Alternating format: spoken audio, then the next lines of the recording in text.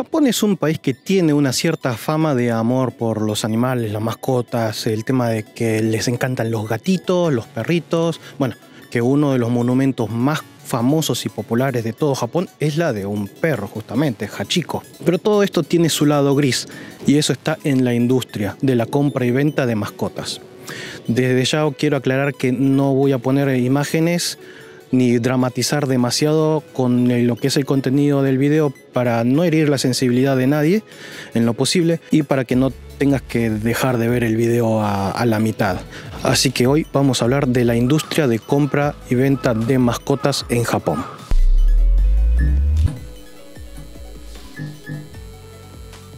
En Japón hay aproximadamente 15 millones de perros con dueños el cual se puede medir con ventas, ya que no hay perros callejeros. Sí hay gatos, pero es más difícil ya que no hay forma de contar los que son adoptados y los que no. Comprar un perro o un gato es algo realmente muy caro. Las ventas no llegan al millón al año en todo el país y según la raza y la edad te puede costar entre mil y tres mil dólares. Sí, un número ridículo que no le podemos encontrar sentido, pero básicamente con esto estamos pagando el costo del animal, sueldo de los empleados de la tienda de mascotas, el alquiler y mantenimiento de animales que aún no se venden. 3 mil dólares, nada que ver, hay cachorritos de 5 mil dólares. Pero mantenerlos de forma particular no es tan caro. Hay seguros de salud opcionales, pero tranquilamente con más o menos 50 dólares al mes o incluso menos, cuidados básicos y mucho amor, puedes tener a tu amigo incondicional por una larga etapa de tu vida. El amor por las mascotas en Japón es como en cualquier país, se lo quiere incondicionalmente como un miembro de la familia. Pero de la misma forma que sucede en muchos lugares del mundo, algunos tienen una mascota por moda o por simple capricho del momento, el cual se convirtió en un problema, el adoptar animales sin ninguna responsabilidad. Pero vamos a hablar de esto más tarde y antes de entrar en mayores detalles, te cuento un poco de la historia de la protección de animales en Japón. En el siglo XVII, el shogun Tsunayoshi Tokugawa promulgó las leyes de compasión de los seres vivos, una norma que fue modificada 135 veces en el cual cada vez iba aumentando la cantidad de especies protegidas. Pero nació principalmente para proteger a los perros, gatos, caballos y el ganado que no era para comer, sino como un animal de carga y fuente de abono. Comenzaron con la prohibición de venta de animales vivos o muertos, incluyendo hasta los pescados, abandono de animales enfermos, maltrato, usar animales para espectáculos, negar refugio a animales domésticos heridos, hasta incluso talar árboles en el que contenga un nido de aves. Y los castigos, dependiendo de la gravedad, podría ir de ser desterrado a ser ejecutado. Las medidas de prohibición de matar animales ya era tan grande que los habitantes de Edo, lo que hoy sería Tokio, se abstenían a comer carne, ya que si veían a un animal la gente no sabía si estaba protegida por la ley o no, así que directamente no se lo cuestionaban. Estas normas tuvieron vigencia por solo 27 años hasta la muerte de este shogun, pero el estilo de vida duró por casi 50 años y de esta forma nació una reforzada cultura de consumo de vegetales y conciencia de que los animales son seres vivos que todos debemos respetar. En sí esto no es relevante hoy en día, pero quería que sepan que Japón tiene un importante historial de protección a los animales a pesar de que esta misma hoy ya no existe. Acercándonos de a poco a la actualidad, a principios del siglo XX hubo cerca de 10.000 casos de muertes por rabia. Y esto no correría a favor de los perros, ya que desde 1922 se promulgó una ley de control de enfermedades infecciosas de animales domésticos, y los perros propensos a tener rabia eran eliminados. Y para el año 50, la vacunación de la mascota se volvió obligatoria y se realizó un exterminio completo de perros callejeros. Y esto explica por qué hoy en día es casi imposible encontrar un perro callejero en el país, cosa que es diferente con los gatos, el cual podemos encontrarlos en muchos barrios, y hasta existen dos islas pobladas de más gatos que personas siendo una atracción turística. Si bien hubo un exterminio completo de perros callejeros, objetivamente esto no fue un acto de odio animal.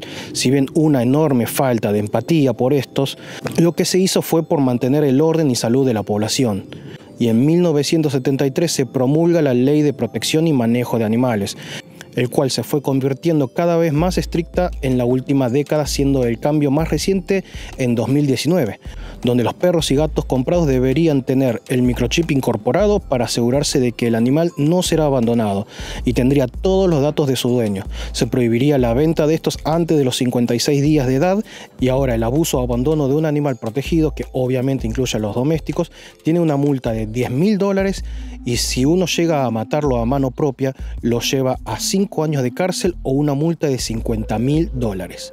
Y los vendedores de animales están obligados a alimentar de por vida a los que no se llegaron a vender.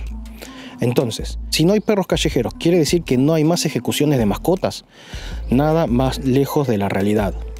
Como había mencionado antes, hay gente que compra animales sin ser conscientes de la responsabilidad que esto conlleva y adoptan un animal, pero al cabo de unos años se cansan y eligen la opción que ningún ser humano debería considerar, mandarlo a lo que se le llama Centro de Salud de Animales. 9年間一緒に生活したという犬モモ金銭的な理由で飼えなくなったという しないあ絶対そういうことはないね。一回もないそういうこと。は正しいでそりゃ子供らに来てさ餌が食べてる時にその子取ったって黙ったこと見てるだけだね。飼い主に抱きかかえられ車の中へ入るモモ。買いたいよその買いたいけんこっちはもう手に負えなくなっちゃってモモは最後まで飼い主の方を見つめていた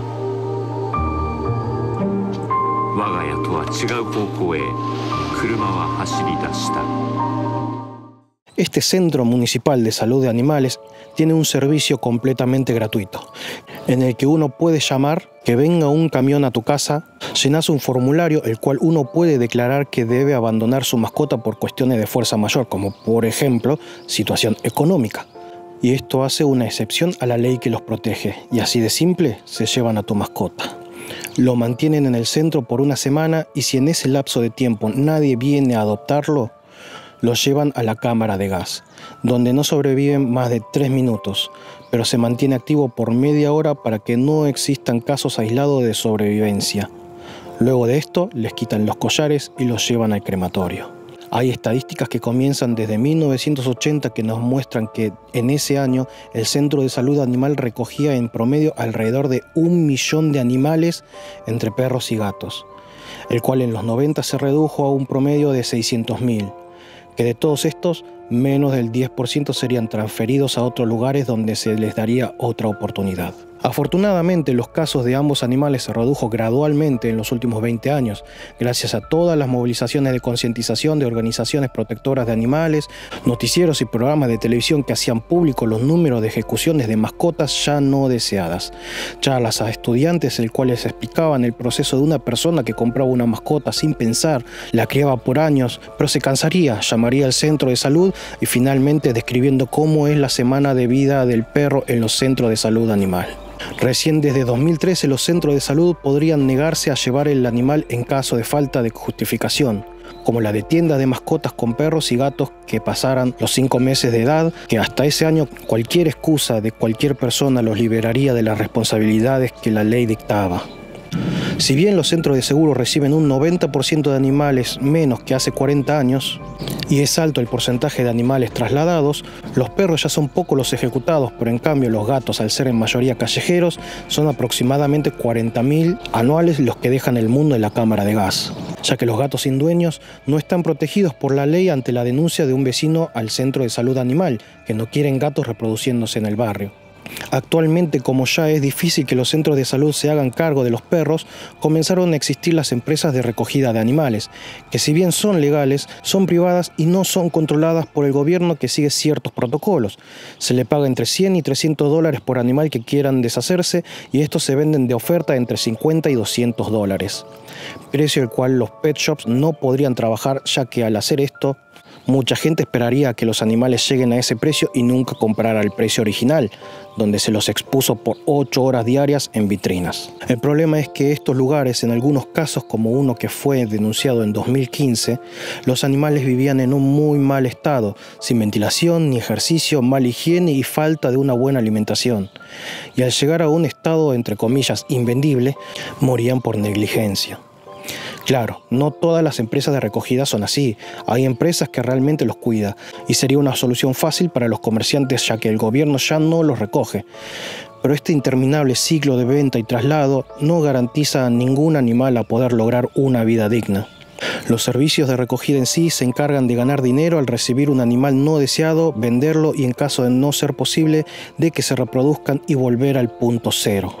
El hecho es que nadie dice ni puede saber qué pasa con estos animales cuando llegan a una edad avanzada y no son rentables en ningún sentido, ya que como sabemos no son refugios.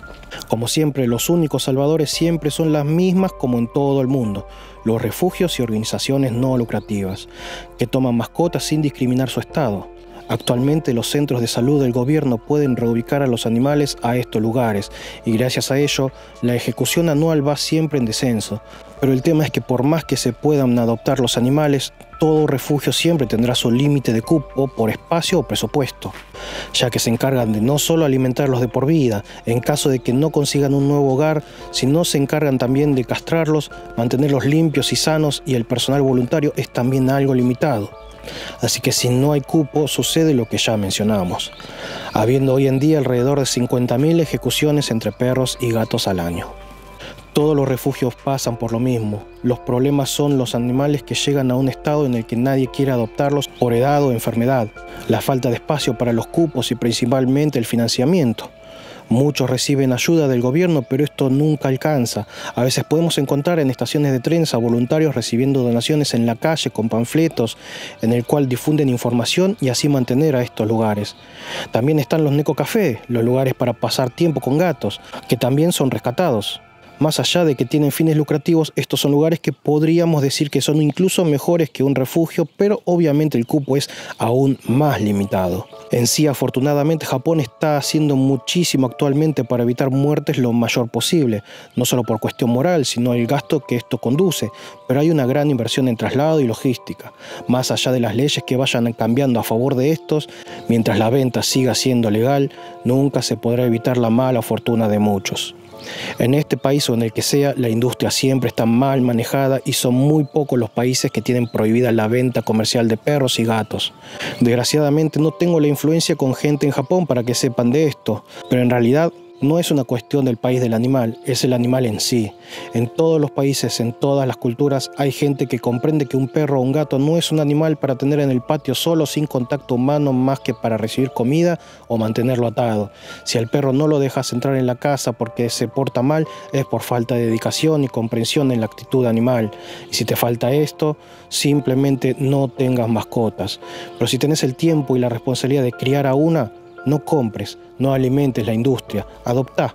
Se comprende que muchas personas tienen preferencia a ciertas razas y no hay que criticarlas o juzgarlas por esto o por comprar, pero en lo posible rescatemos de refugios o de la calle. Asegúrate que no te saquen un centavo por llevarte a un animal, pero sí podés dejar una moneda para el que no es llevado, así que en la descripción del video te dejo una lista de links de refugios de animales por país. Fíjate si encontrás alguna página del tuyo y tal vez puedas dar una pequeña donación que ayude a que estos animales tengan un plato de comida.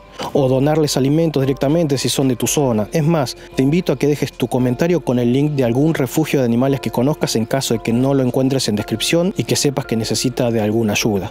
Lo más fácil para que tu comentario sirva como aporte es que primero pongas país, región, el link y si tenés algún detalle más que comentar que sea después de dejar el link, así es más fácil a la vista para el que busque. Pero bueno, yo solo espero que este video sirva y sea un granito de arena como aporte para ayudar a algunas vidas. Uno de los puntos más criticables eh, ante los japoneses cuando tienen mascotas es que, bueno, por lo menos en las grandes ciudades y a veces no tanto, o incluso en casas relativamente grandes, muchas veces tienen las mascotas en jaulas. Está bien, el perro tal vez lo usen solamente para cuando hay visita y no quieren que moleste o, para castigo, no sé, son jaulas chicas y pero de todas formas no hay una buena justificación para tenerlo en jaulas, por más que sea una hora al día. Y el tema de los gatos ya es mucho peor, porque a veces compran eh, jaulas que son grandes, digamos dos metros por un metro y medio de alto, con cosas para saltar, pero el baño ahí adentro. El tema es que pasan toda su vida dentro de jaulas. Esto se debe a porque la mayoría de los departamentos no admiten mascotas. Los perros es imposible porque hacen ruido. Los gatos a veces lo permiten si los mantienen 24 horas todo el tiempo enjaulados. Cosa que no tiene mucho sentido, pero he conocido gente que, que ha sido así. Claro, porque una de las personas está encaprichado con que quería tener gatos, pero no ni, ni siquiera, casi básicamente ni los toca. Porque además cuando salían de la jaula decía que se portaban mal. Los gatos necesitan ejercicio, necesitan moverse, conocer la casa. Obviamente van a empezar a correr porque no corren. Y eso es algo que parece que no entra en la cabeza de muchas personas. Están encaprichados por tener mascotas y punto final. Nosotros, por ejemplo, a nuestro gato, eh, cuando apenas lo adoptamos al año que, estuvimos, que llegamos a Japón, nos fuimos unos meses a Argentina y le pedimos a unos amigos que nos cuiden al gato. Sí o sí tuvimos que comprar una jaula que era de un metro y medio por un metro cuadrado o un metro y medio cuadrado. Era una jaula bastante grande, pero por suerte la mayoría del día lo tenía fuera de la jaula porque el gordo se porta bien y no hubo problema. Por suerte no la sufrió mucho en el tiempo que no estuvimos. Pero la jaula después nos la llevamos a casa y lo teníamos con la puerta abierta, ¿no? Y bueno, el gato lo usaba como su casita, pero no, no lo encerrábamos. Y ya lo tiramos a la mierda porque sabemos que el gato, eso, el gato no pertenece a dentro de esa jaula.